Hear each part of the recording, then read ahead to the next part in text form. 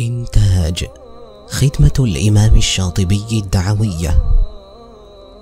لا تنسوا الاشتراك في قناة خدمة الإمام الشاطبي الدعوية والضغط على زر الجرس ليصلكم كل جديد. طيب نصل إلى الموضوع الذي يهم يعني جملة عريضة من المسلمين الذين ربما يجهلون هذه المعاني وهو حكم تهنئة غير المسلمين بأعيادهم يعني هل يجوز للمسلم أن يهنئ النصرانية بهذا العيد؟ كما نسمع اليوم يعني سنة سعيدة أو بوناني أو هابي ييرز. يعني هذه الأمور التي يستسهلها كثير من الناس. فيظنون أن الأمر يعني من قبيل المجاملات وأنه لا يذهب بشيء من الدين. هذا يعني كلام كلام يسير. ومع ذلك لو سمعنا كلام العلماء وما نصوا عليه بخصوص التهنئة.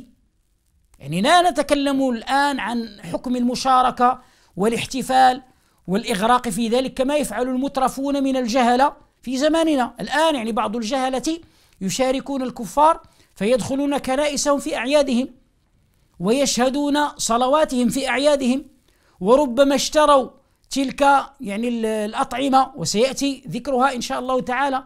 وربما علقوا تلك الأشجار وعلقوا عليها تلك الرموز التي ترمز إلى دم المسيح عليه السلام وترمز إلى يعني تلك الأغلاط والأخطاء التاريخية بأنه ولد تحت شجرة السنوبر. ونحن نعلم أنه ولد تحت نخلة كما يأتي إن شاء الله تعالى. كل هذا يعني توسع فيه بعض المسلمين بسبب جهالتهم وبسبب يعني ذوبانهم في هذه المجتمعات وانسياقهم وراء زخرفها وبهرجها. إذا ما حكم تهنئة المسلمين لغير المسلمين من الكفار واليهود والنصارى بتلك الأعياد الباطلة؟ يقول الإمام ابن القيم رحمة الله عليه في يعني أحكام أهل الذمة وأما التهنئة وهذا يعني في الحقيقة كلام يعني عصيب. لا بد للمسلم أن يسمعه بقلبه وأن يعيه حتى يعلم خطورة هذه المشاركة التي قد يستهين بها بعض المسلمين. يقول أنا أهنئ يعني لي زميل في العمل نصراني لي زميل في العمل يهودي وإذا حلت مناسبة عيده الباطل فإنني أجامله وهذا على سبيل المكافأة. فإنه جاملني في عيد الأضحى وفي عيد الفطر. طيب هو ليس له ما يمنعه من مجاملتك وأنت لك دين تعتز به وقد منعك من ذلك. فلا يجوز أن تترك دينك من أجل أن تجامل زميلك لأن الله حرم عليك ذلك. إذا قال رحمه الله وأما التهنئة بشعائر الكفر المختصة به فحرام بالاتفاق. فحرام بالاتفاق. تدرون ما معنى قوله فحرام بالاتفاق أي بالإجماع. ولا شك أن ابن القيم رحمه الله حينما ينقل الاتفاق فهو ليس كغيره ممن يلقي الكلام على عواهنه. هذا من العلماء الذين لهم سعة اطلاع على أقاويل علماء الأمصار فحينما يروي ويحكي الاتفاق على تحريم هذا الأمر فشد عليه بنواجذك وب يعني كفيك كليهما لأن الأمر يعني جد. إذا قال فحرام بالاتفاق. مثل يعني ضرب لذلك مثلا. مثل أن يهنئهم بأعيادهم وصومهم. يعني طبعا لهم صوم. يعني اليهود يصومون والنصارى يصومون لكن صيامهم ليس كصيامنا. صيامنا يعني عبادة وصيامهم باطل لأنه يعني مخالف للشرعة. يعني مثل أن يهنئهم بأعيادهم وصومهم فيقول عيد مبارك عليك. إذا حلت هذه الذكريات المشؤومة فإن بعض المسلمين يقولون عيد مبارك عليك أو تهنأ بهذا العيد ونحوه يعني من العبارات. فهذا إن سلم قائله من الكفر فهو من المحرمات. هذا إن سلم قائله من الكفر فإنه من المحرمات. يعني قوله إن سلم قائله من الكفر هذا فيه في الحقيقة إشارة إلى التشديد في هذا الأمر. لأن يعني التبريك بهذه المناسبات الباطلة فيه إقرار لهذه العقائد الباطلة.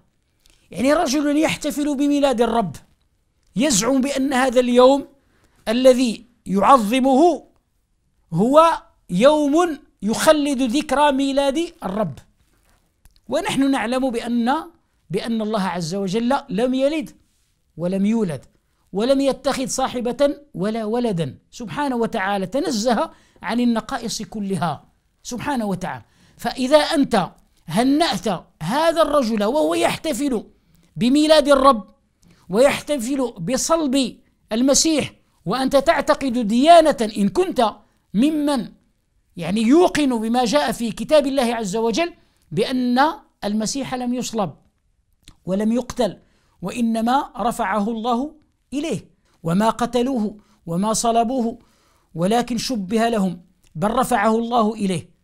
فالله عز وجل حكى يعني صراحة بأن اليهود ما قتلوا عيسى ابن مريم ولكن ألقى الله عز وجل الشبه على بعض من كان عنده ممن وشى به عليه السلام.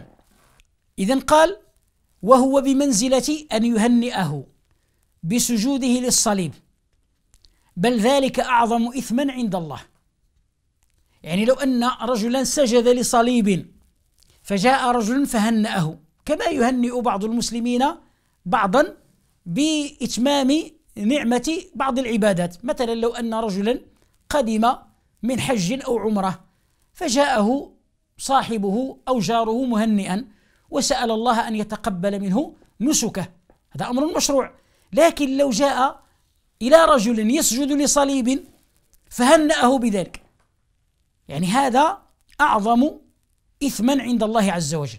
وأشد مقتا من التهنئة بشرب الخمر وقتل النفس وارتكاب الفرج الحرام ونحوه. تصوروا لو أن رجلا شرب خمرا فجاء آخر فهنأه وقال له هنيئا مريئا. وآخر قتل نفسا فهنأه بسبب قتله نفسا ظلما. وآخر زنى عياذا بالله ووطئ فرجا حراما فهنأه. هذا الذي يهنئ المشرك بعيده أعظم إثما عند الله عز وجل من فعل هؤلاء الذين يهنئون من شرب خمرا أو قتل نفسا أو زنى أو فعل شيئا من هذه الكبائر. حتى تعلموا عظيم الجرم في ذلك.